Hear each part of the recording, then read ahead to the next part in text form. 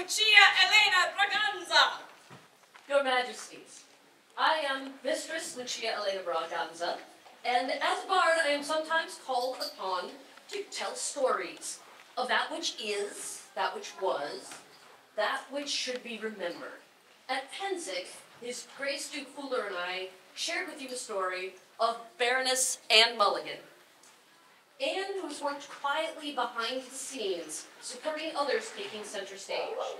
Anne, whose arts of carving and block printing have decorated many garments and objects. Anne, whose books are treasured by their recipients. Anne, who has crisscrossed your vast kingdom, traveling to the far reaches to teach, to participate in the tournaments of the arts and the crafters green, and to facilitate others doing so. Anne, who has shown qualities of noblesse, courage, generosity, franchise, honor, truth, justice, mercy, largesse, and more.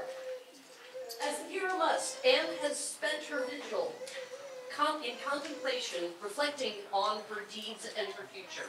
And now we come to the point of ending one chapter and beginning another in a way that only your majesties may. And therefore, I would beg a boon that you elevate.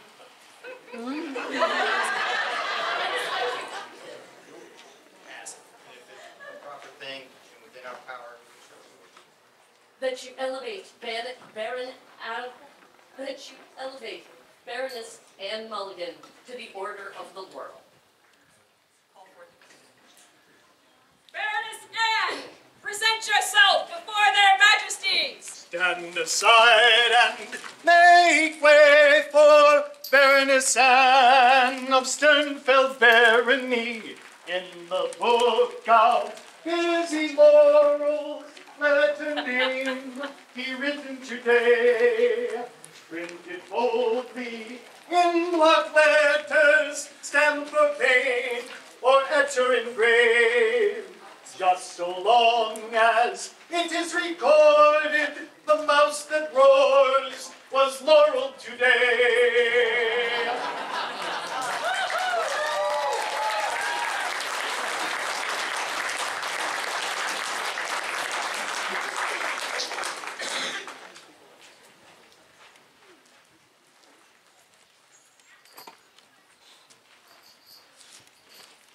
Is there a royal peer to speak of the vigilance nobility?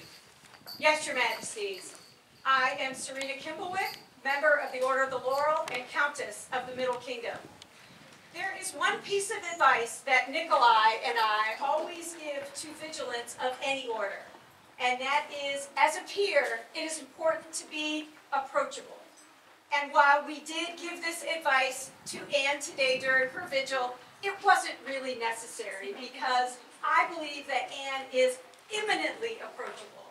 I have watched her at numerous tournaments of arts and crafters greens, working on her art, and people approach her and she draws them in with joy and warmth to her little A&S world. And sometimes people are so comfortable and at ease, they share their art with her. And you know what? She gets just as excited about their arts as she is about her own. She will be a stellar addition to the Order of the Laurel, and I can't recommend her highly enough to you. There. Is there a member of the Order of the Chivalry who would speak on Anne's courtesy and chivalry? Aye, Your Majesty. This role is meant to be done by Duke Fuller. The responsibility is keep them from their court, but if it pleases you, I have a letter I can share, please. Greetings, Your Majesties and assembled nobles. I, Duke Fuller, Knight of the Society, Master of the Laurel and of the Pelican, do send words to your court on behalf of Anne Mulligan, vigilant to the Order of the Laurel. I first met Anne when she moved to the kingdom and began to display her art at your Tournament of the Arts. Her skills continue show, to show true prowess at her art, which she taught freely, and her skill continued to grow. Over the several years that followed, she continued to find new ways to challenge herself in printmaking and its research. She took criticism and praise equally well as she developed her own style and methods. Of this, I am quite sure, since I gave liberal doses of both, as to help her on her path. Anne Mulligan has shown herself to be the very model of courtesy and chivalry as she goes about her art.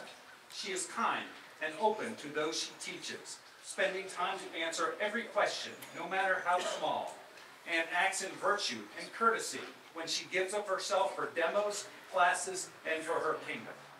Anne's work and talent make me work a little harder to be a better artisan, and I can think of no higher praise. Your Majesties, I commend Anne Mulligan to you as being a true worthy of this realm, and look forward to her addition into the Order of the Laurel.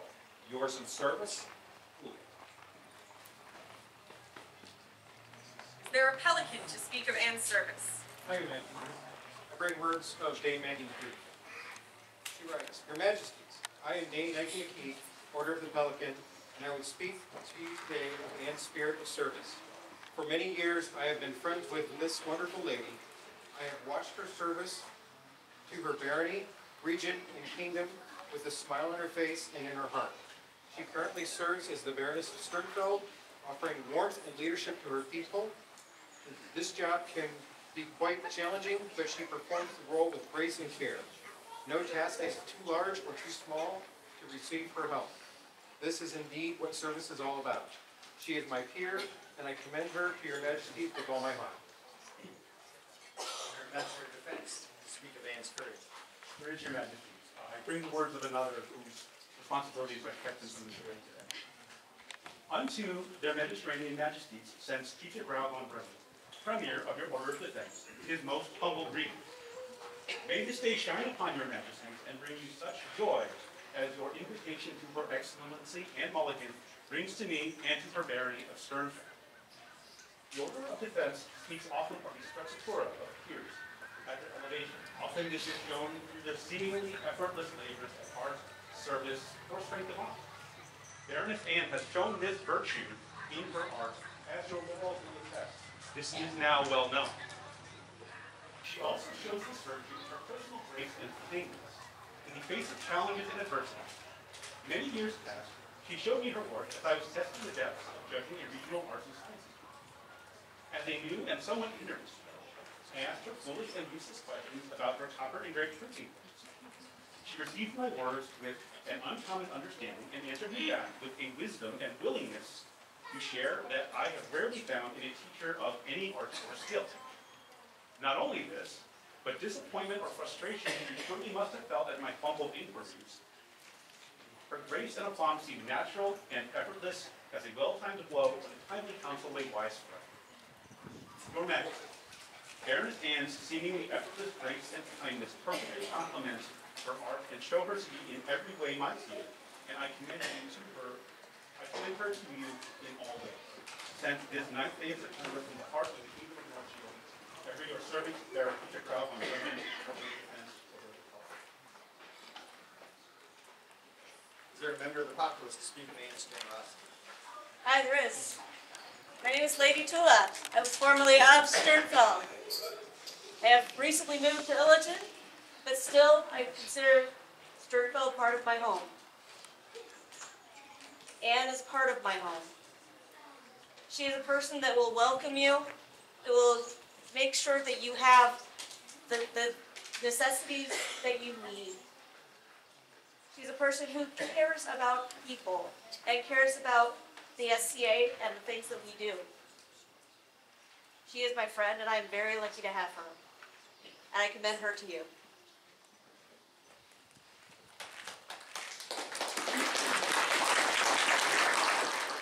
Master Domingo, did you have business with your Your Majesty, this is your kingdom and court, now speak, please.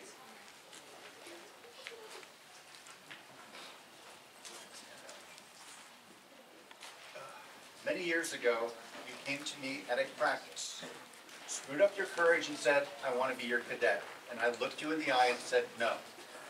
And you looked so dejected. I told you instead I wanted you as an apprentice first.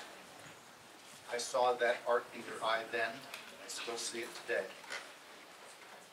I will gladly accept you as a sister world, but I must take this back.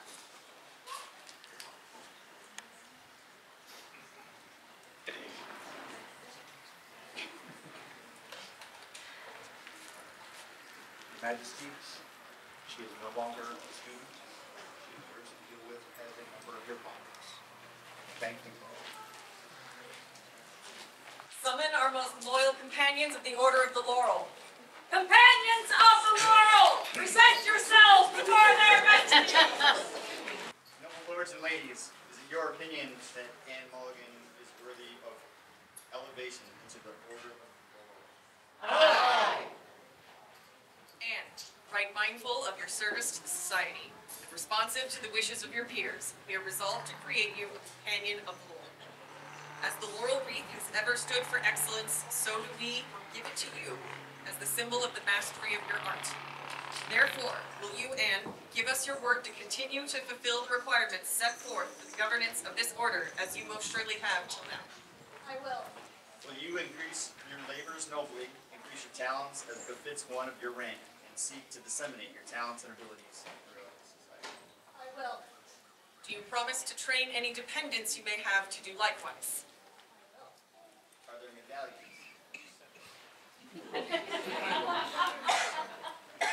Yes. Your Majesty, this is one of my personal medallions. And as I fought side by side with her, one of my knight's chains suspends this medallion.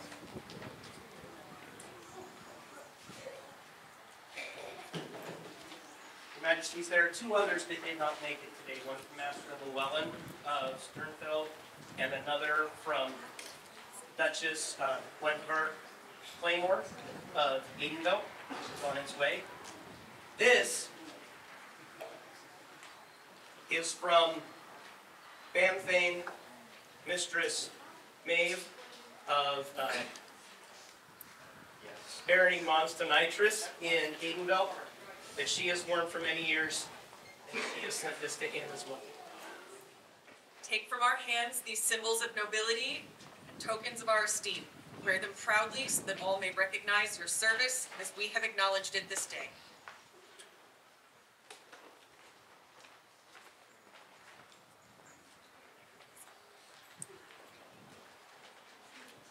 Is there a coat? There is, your majesties. This coat was made by Her Excellency, Mistress Laura Gulliver. Wear this coat as an outward token of your new station. Is there a veil? There is, Your Majesties. This was actually made and printed by Anne's own hand.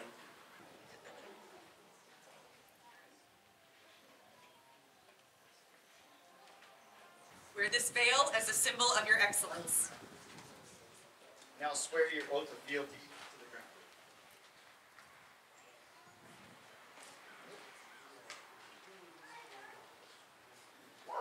Fealty and service to the crown of the Middle Kingdom, to advance the crown with my talents and abilities.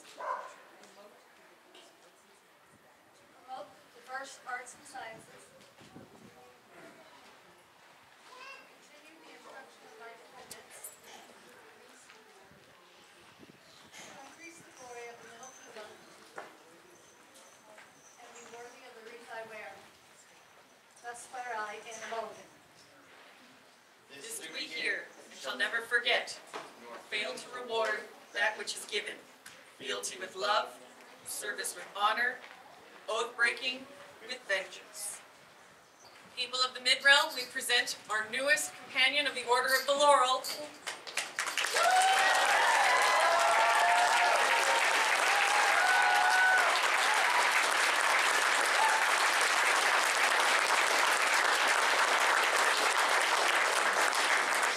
All gentles and nobles know by these presents that we, Louis, King by right of arms of the Middle Kingdom, and Sive, our queen, examined the library of the Order of the Laurel. From one of the shelves, we held a finely crafted tome with spine straight and ridged, whose tooled leather cover stamped in gold reads, "The Book of Anne Mulligan." Beware the mouse roars! the dedication of this book to those many loved by Anne Mulligan, for she is the treasure of two kingdoms.